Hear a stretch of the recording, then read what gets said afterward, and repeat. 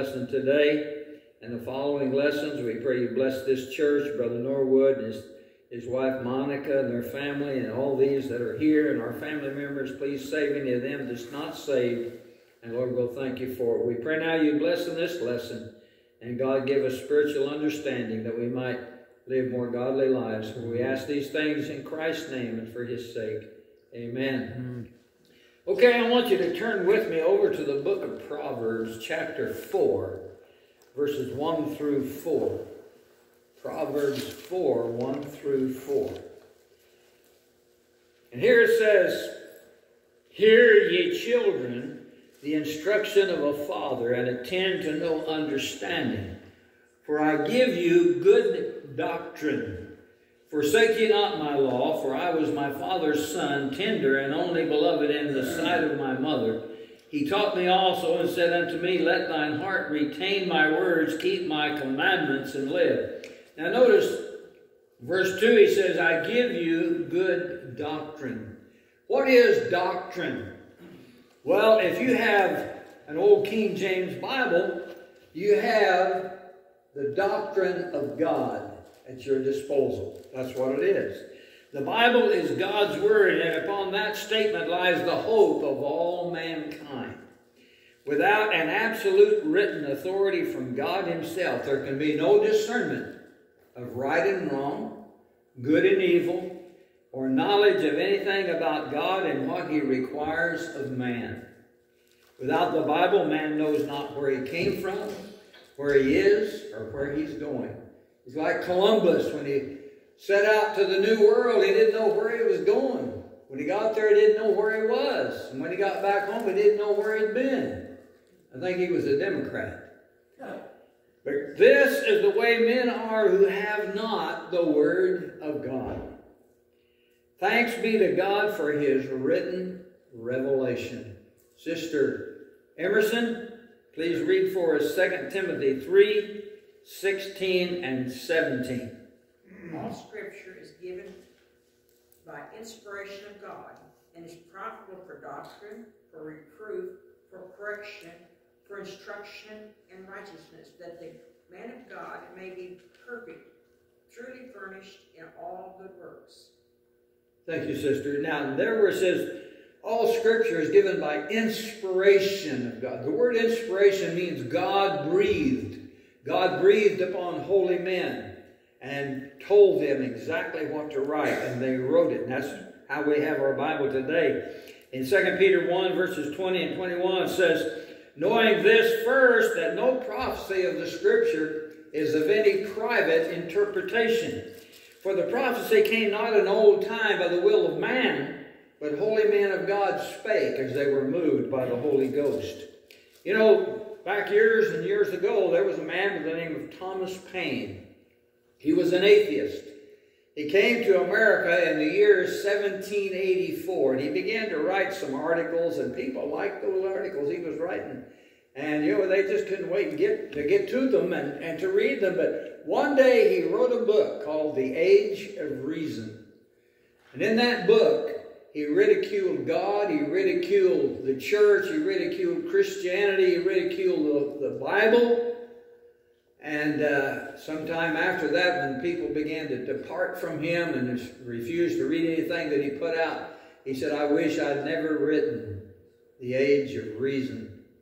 But in that Age of Reason, he said, in a hundred years, the Bible will be a forgotten book found only in museums or in dusty attics or the back shelves in, in some bookstore somewhere. Well, a hundred years from that time, the Bible became the world's greatest and best seller. And so, you know, if we as Christians want to live right and grow spiritually, then the Bible must be our life, our guide, and our spiritual food. And as we consider the doctrine of God's Word, we see that it is the Word of God that God uses to save souls. Without the Word of God, one could not be born again. And I'm going to ask Brother Phil to please read for us 1 Peter 1, verse 23. Being born again, not of corruptible seed, but incorruptible, by the word of God, which liveth and abideth forever. Thank you, Brother Phil. Now notice it says, being born again, not of corruptible seed.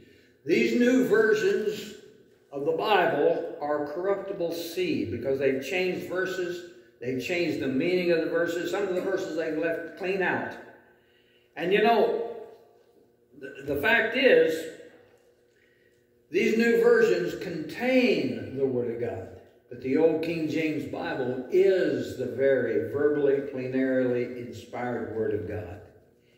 And you know, back about 30 years before the Second World War, there was a missionary that went to a place called Shima, Shimabuka, I think that's how you pronounce it, Okinawa, Japan. And he came into that village and uh, he started, he could speak the Japanese language. He started speaking to those people. And he had the privilege of leading two brothers to Christ, Shoshai Kina and his brother Mojon. They got saved.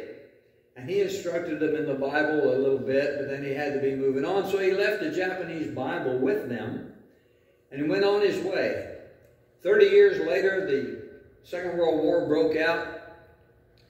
And the American troops, when they landed on Okinawa, they came to this village and uh, they had their rifles leveled and ready to shoot any Japanese soldiers they saw, they saw, but there weren't any Japanese soldiers there. These two men that the missionary had led to Christ, they came out and they bowed themselves and welcomed the American soldiers as Christian brothers. So they called for their chaplain and they found out the story about these men. And one thing about it, they said when they entered into the, into the huts looking for Japanese soldiers, he said they've never seen anything so clean. The insides of their homes were just spotless. But all the other villages in Okinawa were just filthy, dirty. And that's what the gospel will do. When a person gets cleaned up on the inside, he'll clean up on the outside. That's the way it works. Mm-hmm. And so I want you to look with me. Let's go over to the book of James, chapter 1, verse 21.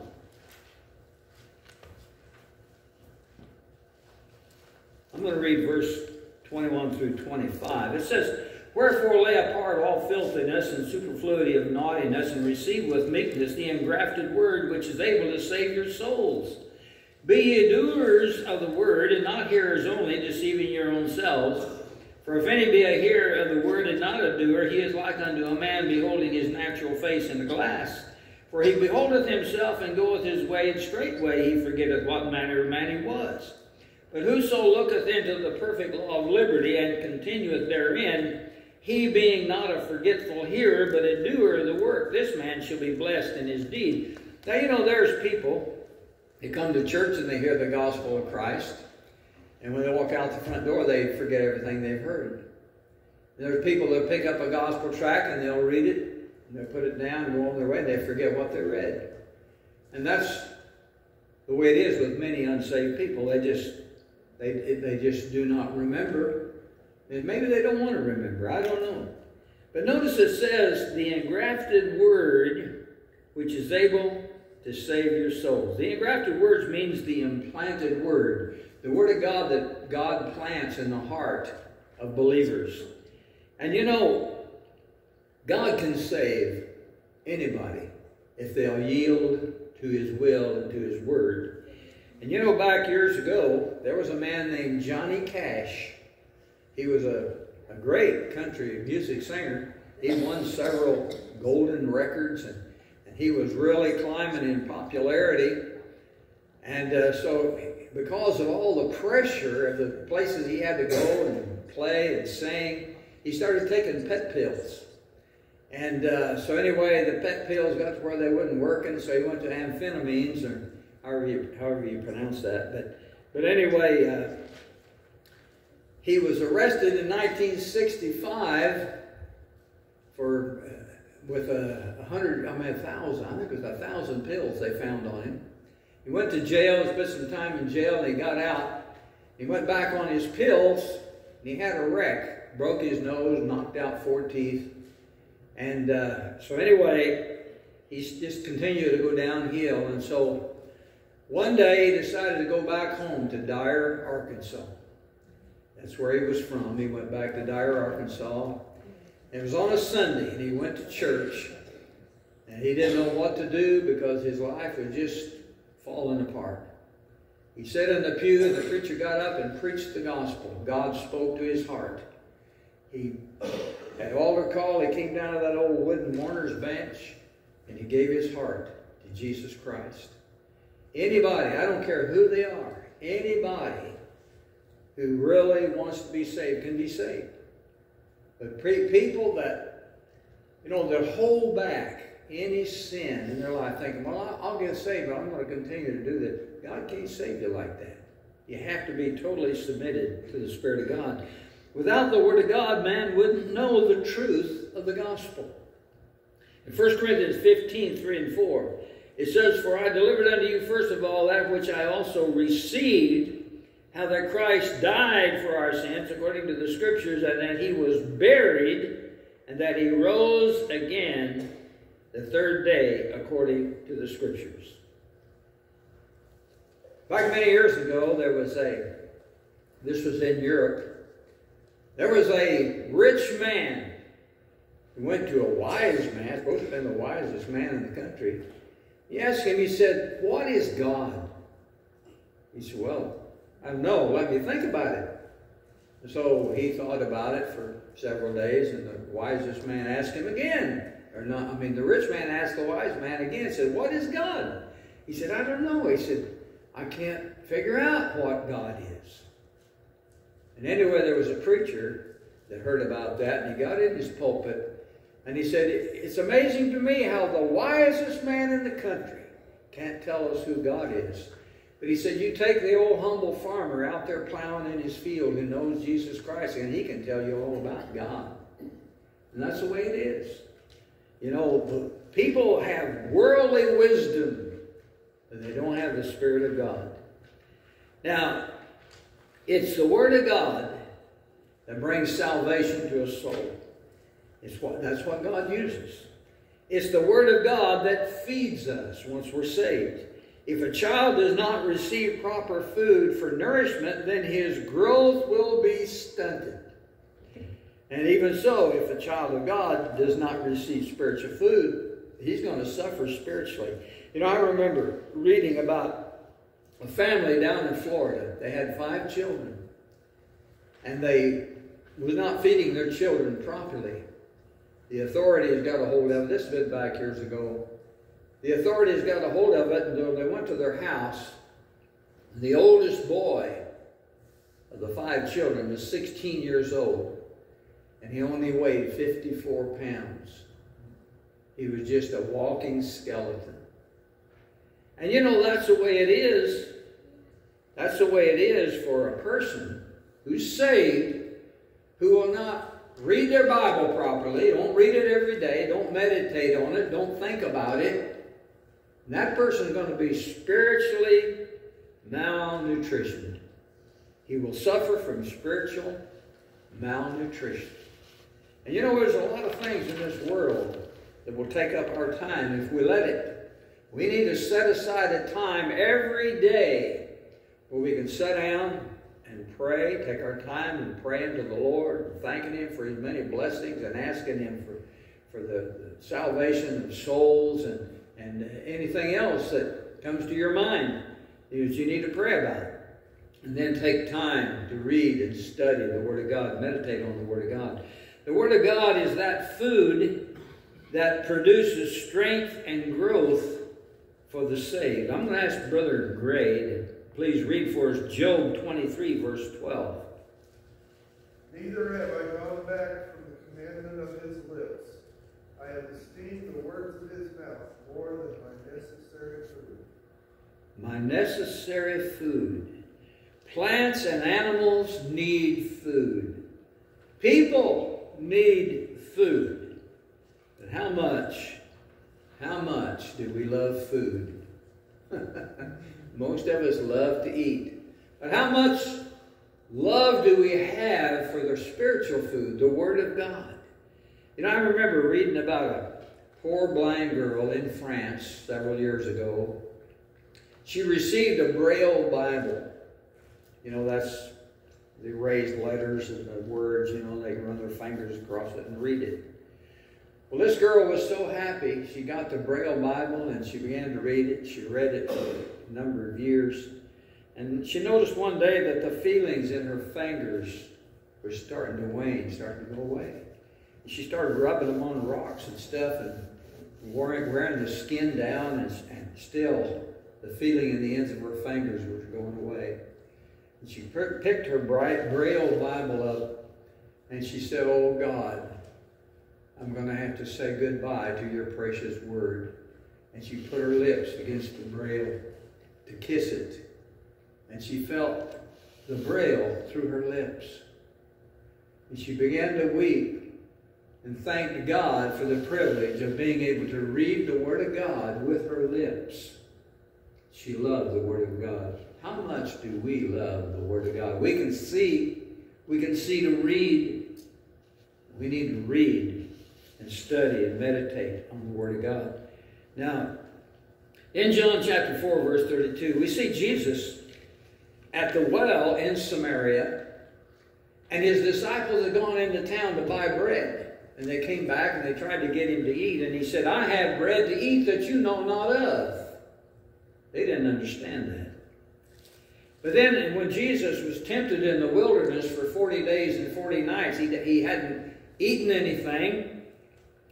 And he was hungry, and the devil came to him and said, Well, now, if you're really the Son of God, why don't you turn these stones into bread and feed yourself?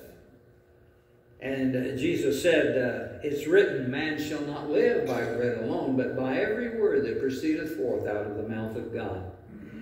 God has listed how he describes his word as spiritual food. First of all, he refers to it as the milk of the word. 1 Peter 2, verse 2 says, As newborn babes, desire the sincere milk of the word, that ye may grow thereby. Sister Gray, please read for us 1 Corinthians 3, 1 and 2. And I, brethren, could not speak unto you as unto spiritual, but as unto carnal, even as unto babes in Christ. I have fed you with milk and not with meat. For hitherto ye were not able to bear it, neither yet now are ye able. Thank you, Sister Gray. Now, you know, there was a man that was a Catholic and he got saved. He stopped going to the Catholic Church, so he started reading his Bible. And the priest came by to visit, but didn't see why he hadn't been in church. And he saw this man sitting there reading his Bible. He said, You shouldn't be reading that. You, you need to let me read it and interpret it for you. And the man looked up at him and he said, You know, back some months ago, he said, I got sick. And I had to hire a man to come milk my cow for me. And he said, I, I noticed that the milk was real watery. And then he said, I found out that that man was taking half of my milk and filling the pail up, the rest with water. And he said, Yeah, I fired him. And he said, Now I'm getting that good, rich, sweet milk like I used to get. And his insinuation was that this priest had been stealing his milk, the milk of the word. That's what they'll do. And so, you know, he refers to the Word of God as also as meat of the Word, the heaviest form of food, this spiritual truth. And I'm going to ask uh, Brother Dunn to please read for us Hebrews 5 12 through 14. For when the time you ought to be teachers, you have need that one teach you again, which is the first principle of the oracles of God, and are become such as have need of milk, and not of strong meat for everyone that uses milk is unskillful in the word of righteousness, for he is a babe. But strong meat belongs to them that are old age, even those who by reason of the use of their senses exercise to discern both good and evil. Thank you, Brother Dunn. Now, you know, a little baby will gag or choke on a piece of meat. They will. And, and you know, uh, but it gives strength to the adult. You know, of course, steaks getting so high now you can't afford it. All the other kinds of meat is too, you know, the prices just keep going up. But, but anyway, you know, in, in 1 John, we see that John gives us different stages of spiritual growth. In 1 John 2, verse 12, he mentions the little children. And then in 1 John 2.14, he mentions the young men. And in 1 John 2.13, he mentions the father. So this is the different stages of spiritual growth. And, and then as we move on, notice he, refer, he refers to the Word of God as the bread of life or the staff of life. And I'm going to ask uh, uh, Sister Dunn, please read for us John 6, 31 through 35. Our fathers did eat manna in the desert, as it is written, He gave them bread from heaven to eat. And Jesus saith unto them, Verily, verily, I say unto you, Moses gave you not that bread from heaven, but my Father giveth you the true bread from heaven. For the bread of God is he which cometh down from heaven, and giveth life unto the world. Then said they unto him, Lord, evermore give us this bread. And Jesus saith unto them, I am the bread of life. He that cometh to me shall never hunger, and he that believeth on me shall never thirst. Thank you, Sister Dunn. Now notice Matthew 4, verse 4 says, But he answered and said, It is written, Man shall not live by bread alone, but by every word that proceedeth out of the mouth of God. You know, there's different kinds of bread. There's rye bread, there's wheat bread, multigrain bread. There's even potato bread. And there's white bread and brown bread. And there's some bread that don't have any uh, nutritional value in it. And, you know, Beverly and Marie and I, we were in Walmart Friday, and Beverly picked up a bag of those bagel, bagels. And I, asked her, I said, do you like them things? She said, yeah. I said, I don't like them. She said, why? I said, they taste more like cardboard. There's no nutritional value in them, I don't think.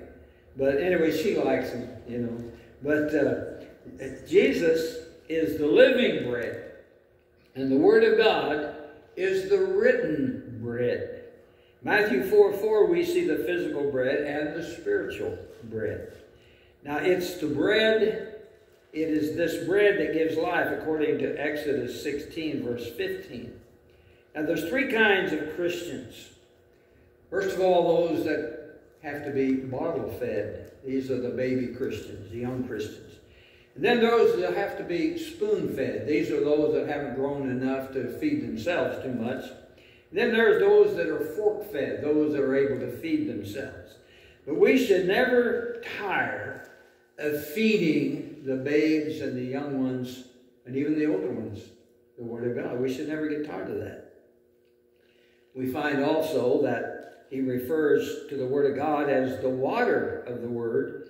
This is essential to maintain life. And I'm going to ask Deanna, please read for us Ephesians 5 26 through 27. That he might sanctify and cleanse it with the washing of water by the word, that he might present it to himself a glorious church, not having spot or wrinkle or any such thing, that it should be holy and without blemish. Thank you, Sister Deanna. You know why churches have problems, have church splits and all that? Because there's certain people that do not want to follow the Word of God. It's the Word of God that cleanses the church. That's what it says right there. Sister Monica, would you please read for us Isaiah 55, verses 10 and 11? Whereas the rain cometh down, and the snow from heaven, and returneth not thither, but watereth the earth, and maketh it bring forth and bud, that it may give seed to the sower, and bread to the eater, so shall my word be that goeth forth out of my mouth. It shall return unto me void, but it shall accomplish, accomplish that which I please, and it shall prosper in the thing whereto I sent it. Thank you, Sister Monica. Now, the washing of water by the Word brings spiritual cleansing. And it's the Word of God that gives and maintains life. In Ecclesiastes chapter 11, verse 1 says, Cast thy bread upon the waters, and thou shalt find it after many days. You know, there was a, a man who tore down an old shed close by his house on his property. It had been there for many, many, many, many years. He tore that old shed down. He hauled the lumber over to the backside of the lot of his property and he burned it. And that was in the fall. And then spring came and it began to rain. And he said, the seed that had been dormant under that old shed in the dirt for all them many years sprang to life because of the water. And he said it produced some of the most beautiful flowers he'd ever seen. You know, that's the way the Word of God is. It can, it can, it can lie dormant in the mind of a person for many, many years. And then one day, God brings it to the memory of that person. And you know, a person can hear the Word of God when they're a child and grow up not knowing Christ. And when they become an adult, God many times causes them to remember what they were taught as a child in Sunday school or in church. And that person gives their heart to Christ. And we find also that he refers to the Word of God as honey. It is sweet to the taste. I'm going to ask you all to look, look with me over to the book of Psalms. Let's go to Psalms 119, verses 9 through 11. It says, The fear of the Lord is clean, enduring forever. The judgments of the Lord are true and righteous altogether. More to be desired are they than gold, yea, than much fine gold, sweeter also than honey and the honeycomb. Moreover, by them is thy servant warned, and in keeping of them there is great reward.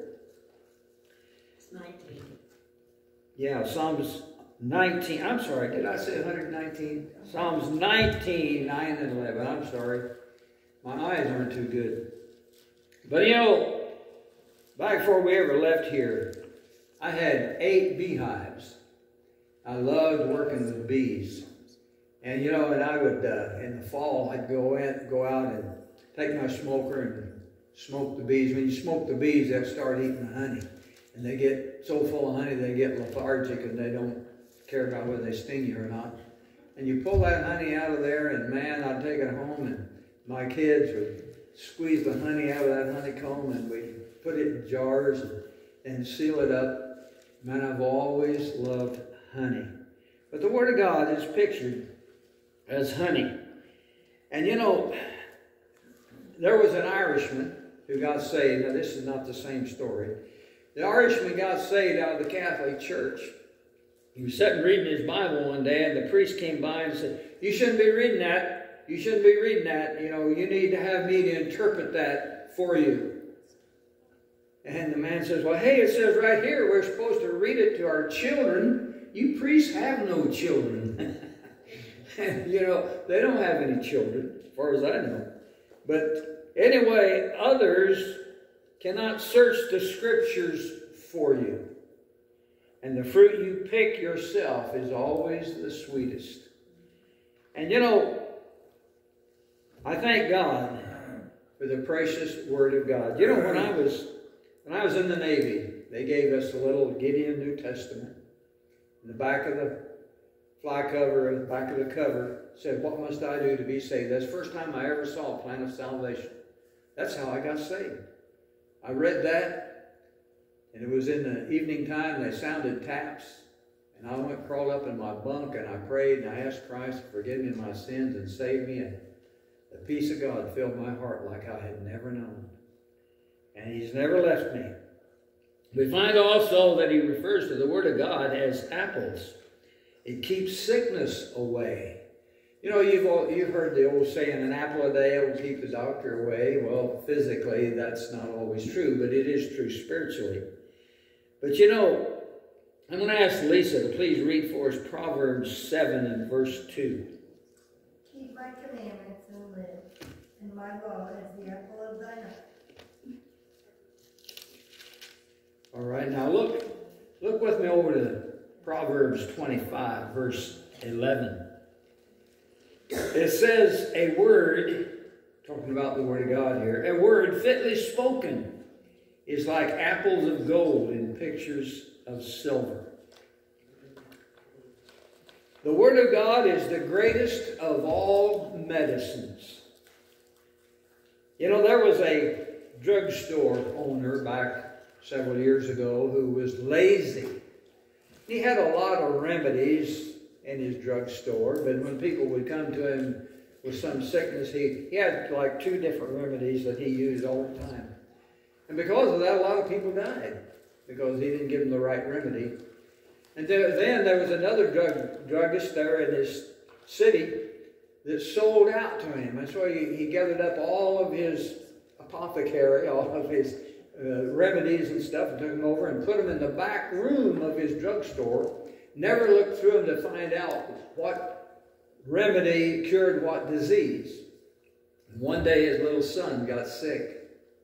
He got sicker and sicker, and so the man started searching. He started looking through all that stuff to find the remedy to heal his little son, but he never found it. His little son died. And you know, there's thousands of Christians that are just as foolish as that. They never have a family devotion with their children. They never get down on their knees with their children and pray with them. They never talk to them about what the Word of God says for them and how they need to receive Christ as their Savior. And you know, the Word of God is our food and it is our medicine. And so we need to be faithful in feeding it to others. We need to be faithful in giving it as a medicine to those that are spiritually sick. And there's a lot of Christians that are spiritually sick. You know, last Wednesday, I made a trip down to Tahlequah, Oklahoma, and I preached there in uh, Calvary Indian Baptist Church. And I took a box of Chick tracts and I set them on the table, or the pastor, I gave them to the pastor, and he set them on the table. And he told them, he said, now, Brother Sowards brought a, a box of Chick tracts. He said, you're welcome to take them. They don't cost anything. And so, before church and after church, boy, people were grabbing into those Chick tracts like chickens after corn because they knew their family members, their neighbors, and people needed the Word of God. That is a great church down there. I had a great time down there. And so, anyway, next week we will continue with this lesson on the doctrine of the Word of God. And so, next week I'll put lesson number two. I forgot to put lesson number one on here, but I'll do that. I'll try to remember to do that next week. Okay? Let's bow our heads and we'll go to the Lord in prayer and we'll get ready for church. Our Father in heaven, as we come before your throne of grace, we thank you, Lord, for loving us so much. You willingly came to this old sin-sick world. You willingly laid down your life for our sins. You took our sins upon yourself, you imputed to us your righteousness. Lord, we thank you for that, and we thank you, Lord, for blessing us from day to day, for providing for us, and for protecting us. And Lord, we just say, help us to love you more.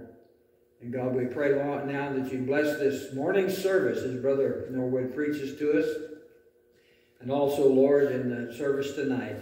Please keep us all safe on the roads, streets, and the highways, and we'll thank you and praise you for it. For we ask it in Jesus' name. Amen.